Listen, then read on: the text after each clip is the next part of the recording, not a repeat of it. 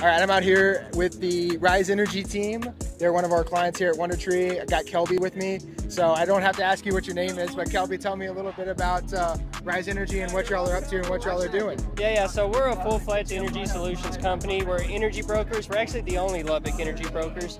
We also do stuff like solar, battery, generators.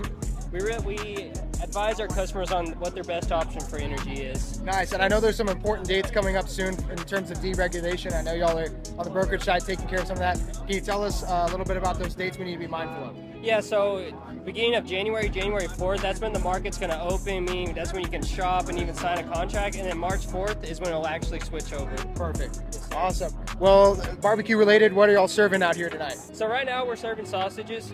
Yeah, uh, but we cooked a, a pork belly, pork ribs, and then we also did a brisket. Awesome. Cool, man. Thanks for your time. Yes, sir. Thank you.